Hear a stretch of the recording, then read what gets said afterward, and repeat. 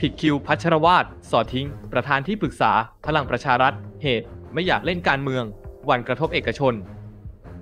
คือหาไม่น้อยกับการประกาศแต่งตั้งบิ๊กป๊อตพลตำรวจเอกพัชรวาทวงสุวรรณเป็นประธานที่ปรึกษาพรรคพลังประชารัฐ โดยทางพรรคหมายที่จะใช้ความสัมพันธ์ระหว่างพลตำรวจเอกพัชรวาทกับภูมิธรรม เวชยชัย แกนนำพรรคเพื่อไทย สายทักษิณในการเจรจาต่อรอง เรื่องการร่วมรัฐบาล ระหว่างพลังประชารัฐกับพรรคเพื่อไทย แต่ล่าสุดแว่วว่า งานนี้อาจมีการผิดคิวเกิดขึ้น รองศาสตราจารย์ดรธนพรศรียากูล ผู้อำนวยการสถาบันวิเคราะห์การเมืองและนโยบาย เปิดเผยว่า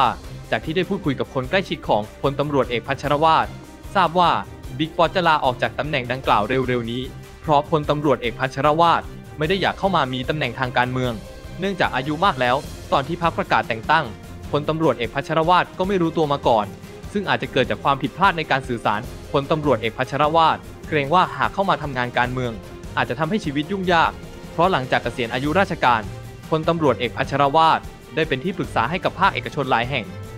หากมีตำแหน่งทางการเมือง โดยเฉพาะได้เป็นรัฐมนตรีก็ต้องลาออกจากการเป็นที่ปรึกษาของภาคเอกชน ซึ่งอาจส่งผลกระทบต่อเอกชน เนื่องจากยังมีภาระงานข้างค้าง หรือมีข้อสัญญาผูกพันกับบริษัทเหล่านี้